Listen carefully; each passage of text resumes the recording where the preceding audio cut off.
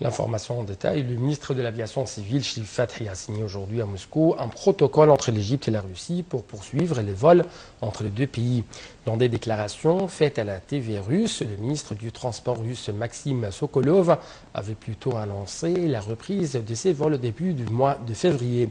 Sokolov a ajouté que le premier vol serait programmé sur la compagnie russe Aeroflot à destination de l'aéroport international du Caire. Le ministre russe a également affirmé que l'aéroport du Caire était capable d'assurer la sécurité pour tous ses vols.